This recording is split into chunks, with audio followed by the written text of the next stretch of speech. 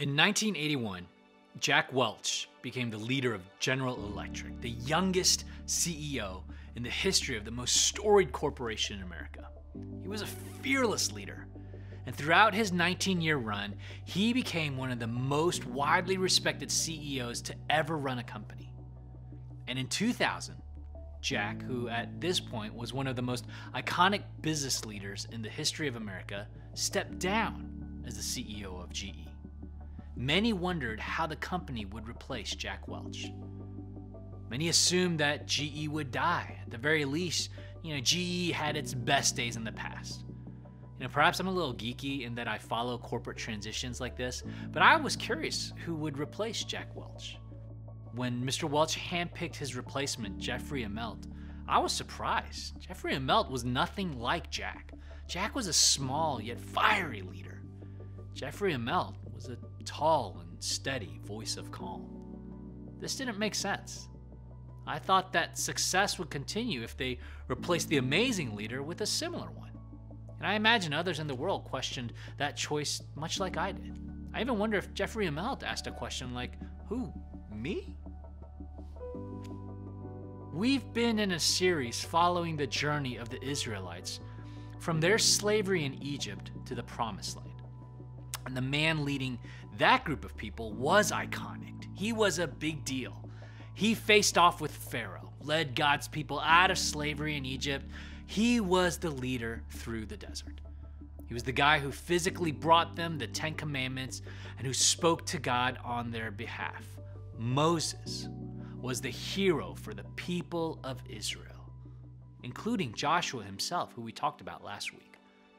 Israel had spent their lives following Moses towards the promised land, and now, with the sight of the promised land, they faced another pivotal moment.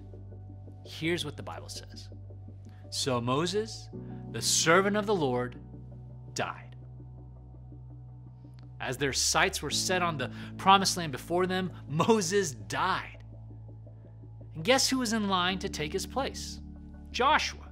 He had been Moses' assistant and now he was the guy who was supposed to fill his shoes. And I guarantee you that there was one simple question rattling around in his brain Who, me? It was quickly followed by, Are you kidding? Moses parted the Red Sea. I can barely part my own hair. I can't fill this guy's shoes. I'm just a regular guy. Here's a truth who you think you are impacts everything about your attitude and your performance. And that's where Joshua found himself. As he faced down his huge new assignment, he found himself asking, Who am I? And how he answered that question would determine whether or not he would step forward. Well, it appears that Joshua started to do what many of us do when life comes at us with opportunities that have the potential to affect our future. He began to focus not on who he is, but on who he is not. He probably told himself, I'm not Moses. I'm not a great leader. I'm not a miracle worker. I'm not a military general. I'm not even that smart. I'm not even that old or wise. I'm not even that holy. Does that sound familiar? Of course it does. We do this all the time. We all have a tendency to build our identity around who we are not.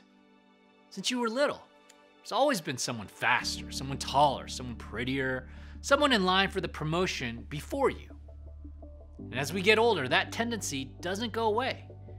Even for those of us who might be retired with grandchildren, we still feel the need to live up to a standard and we still struggle with all the things we're not.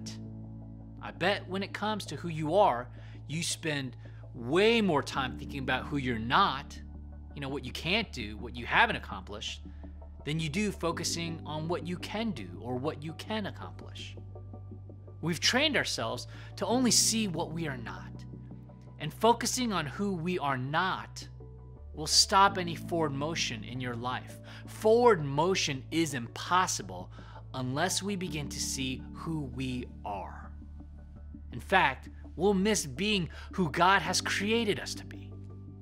When we don't know who we are, we face some negative side effects. For example, we compare. When you try to determine how you rank against other people, eventually all you can see is how much you don't measure up. You're not sure who you are or if you're enough, so you start looking around to the left and right. And that's how we become insecure or jealous, discouraged about life. Not only do we compare, we also clasp.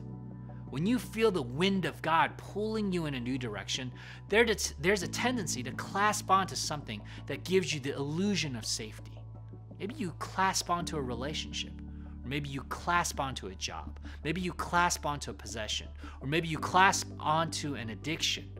When you don't know who you are, it feels safe to clasp on to what you know, even if it's not true or good.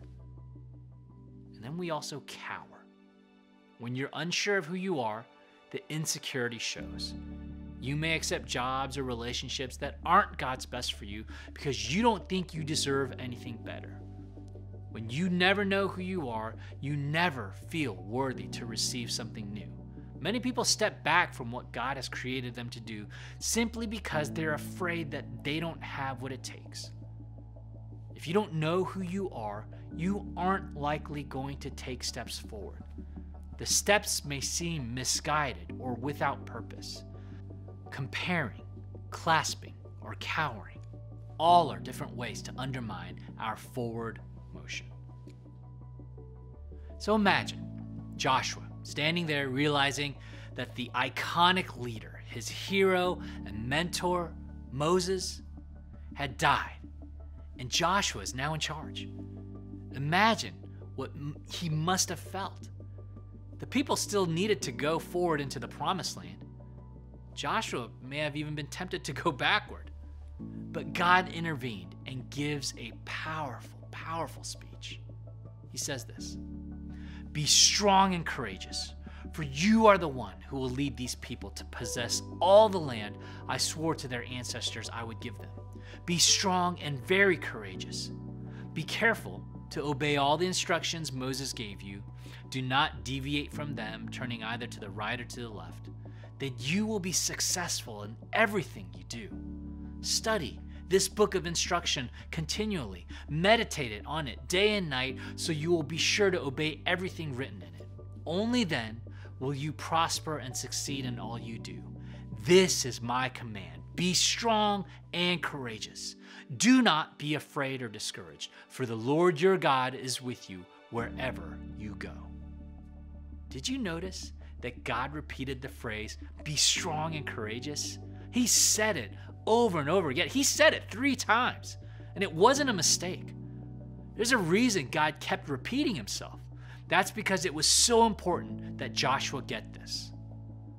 While Joshua was focused on who he wasn't, God spoke into who he could be a strong and courageous leader of his people. And notice that God didn't think Joshua could be strong and courageous because he had a certain set of skills. No, it's because of God. Look what God says. Be strong and courageous, for the Lord your God is with you wherever you go. It's as if God was saying to Joshua, Joshua, you're so focused on who you're not that you've missed one really important thing who I am. Because I am God, I can do anything. I'm strong, able, I'm mighty, I'm good, I'm loving, and I'm powerful. And most importantly, Joshua, I am with you. So I'm here to tell you who you are. You're not Joshua the scared, Joshua the not ready, Joshua the too young, or Joshua the weak. No, you're Joshua the strong and courageous because I am with you. So go live like it, Joshua, and go lead like it. And that's what I want you to take away from early on in Joshua's career as leader of the Israelites. Who Joshua was didn't even matter in light of who God is. Did you catch that? who Joshua was not, all the ways he wasn't the man for the job, were insignificant because of who God is. Or to put it simply, who God is is more important than who you are not.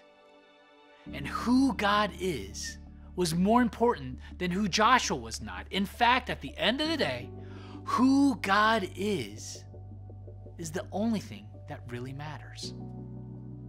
Just like with us, God could see what Joshua couldn't.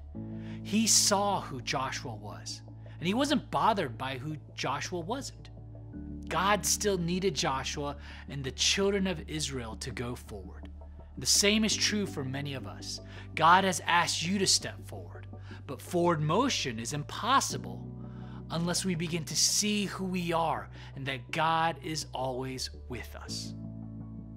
And God gives you the same speech that he gave to Joshua. Because what was true for Joshua is true for us too. God is with you wherever you go. So be strong and courageous.